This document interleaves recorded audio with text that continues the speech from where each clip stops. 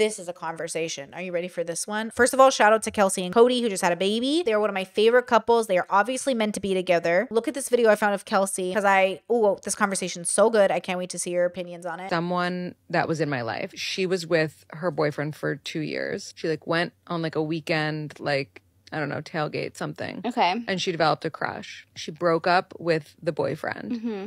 And like tried to pursue the crush. Ended up being like a fuck boy and being like, "What are you doing? Like I don't care about you." Right. Went back to the boyfriend. Is now married with kids with the boyfriend.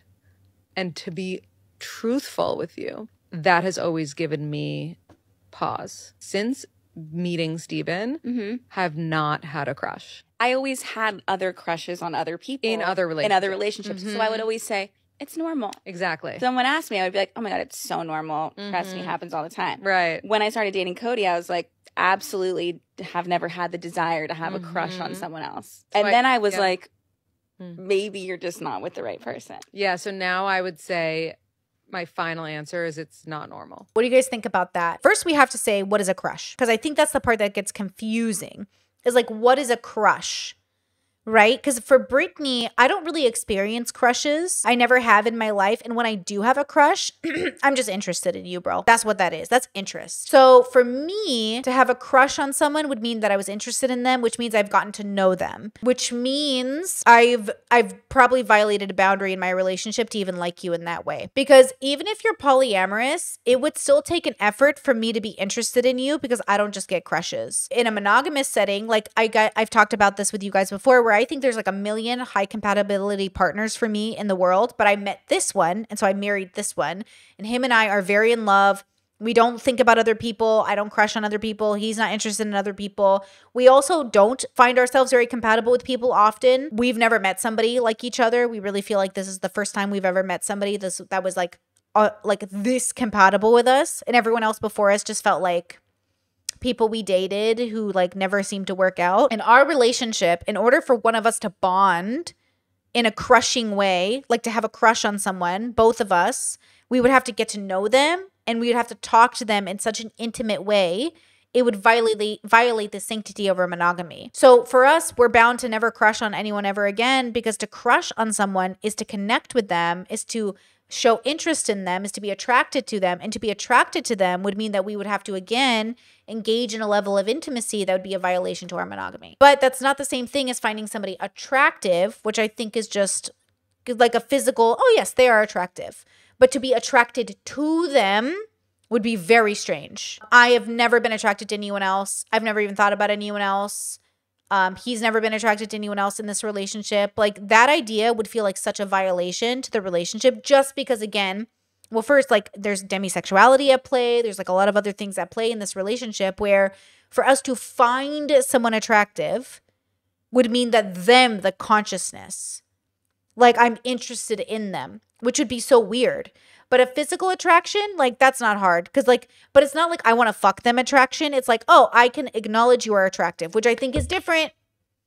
Like I haven't been physically into anyone else. I haven't thought about anyone else. I only think about him naked. I don't think about anyone else. In that way, um, porn stars don't count. I haven't been attracted to anyone else I've met. I haven't thought about anyone else. Like, I don't, my brain doesn't do that. But my brain also doesn't get jealous. My brain doesn't experience FOMO. And I don't think about cheating ever. So, to be fair, I think both of our brains are compatible in that way as well. What do you guys think? Hannah says I've been with my partner for four years and I don't have crushes other than him. I also define uh also my definition of crush is the same as yours, Brittany. So not normal for me. Mm.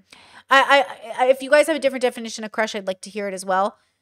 Um, because I think there's definitely a difference. Biza says it takes an effort to develop a crush for me personally. Caitlin says I'm incredibly monogamous, so interest in anyone but who I am. Not interest, no interest in anyone but who I'm with. Same. Mars says I think being attracted to other people while in a relationship is fine, but when you crave emotional connection from someone other than your partner, there's probably a deeper issue. Oh, for sure. And even if you're poly minded, even when I was poly, people would accuse me of being monogamous, like in a funny way. They'd be like, oh my God, for a poly girl, you never date other people. I was like, I date other people. They're like, you sleep with other people, but you don't really date anybody. I was like, I don't really like anybody. It, it it's really rare for me to in, want to do my life with people. I've only felt that with one person, and I married him. I've only met one person that I've dated that I wanted to do actually life with, in a very profound way enough to marry them. Even with my ex that I like thought I was going to marry, I wasn't ready to marry him until I thought we would be compatible. We weren't compatible in the right way. We were like 60 to 55% compatible and it wasn't high enough. And I was like, we can't get married with 50% compatibility. That's crazy. We're not getting married. My partner and I, this one, I think when we initially met, I thought we were 80%. Then I realized I was like, no, we're 90%. And now I would say we're like 99.9% compatible. It's insane like I'm still trying to figure out what we're not compatible with. I don't know what in what way we're not compatible. It's just it's crazy how compatible we are. You know, I'm trying to like problem solve this. I kind of think I agree with the girls where I maybe when you're crush and I do think Cody Ko and Kelsey when I look at Cody Ko and Kelsey, my sister and I think of them as like literally soulmates. Like, oh, yep, this is this is that high compatibility partnership. This is like very high compatibility partnership. This is like the love of your life status. And this is what I think I have with my husband. Like when I look at Cody Ko and Kelsey, if they ever cheated on each other or got divorced, I would be so shook to my deepest core. Cause I'd be like, what? Other couples I see, I'm taking bets. I'm like, yeah, they'll probably get divorced. Because I don't think they're soulmates in that way.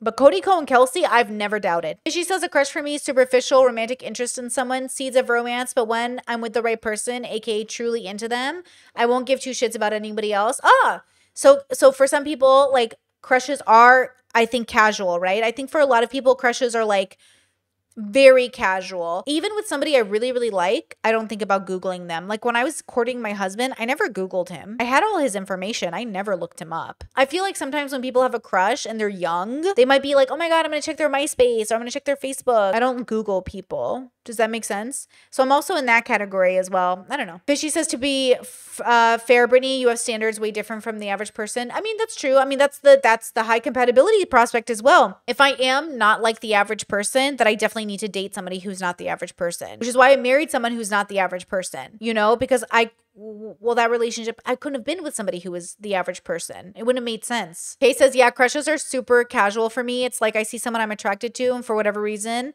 And then from then on, they're just on my radar. Oh, so my mind notices them more.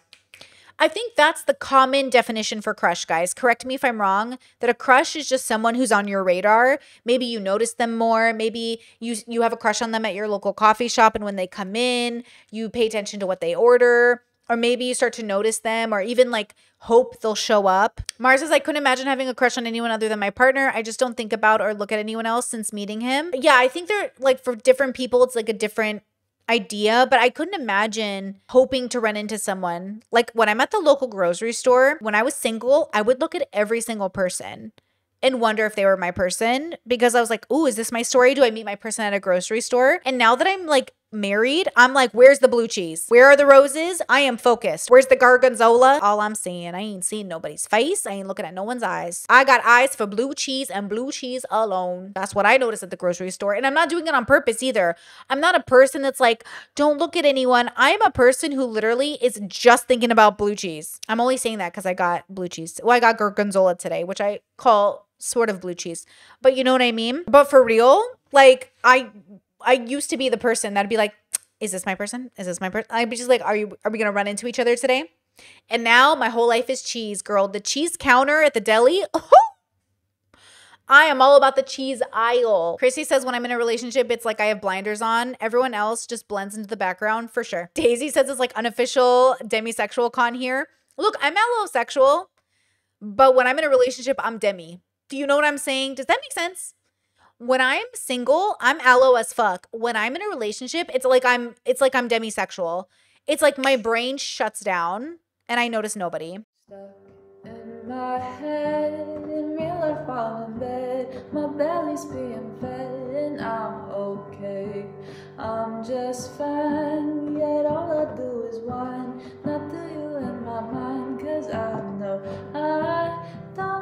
make sense. I've been nothing but blessed. So why's my life a mess? Please tell me, cause I'm sick of thinking. Yeah, I'm sick of reaching out for the truth and living life as a fool. Dun, da, da, da, da, da, da, da, da, da.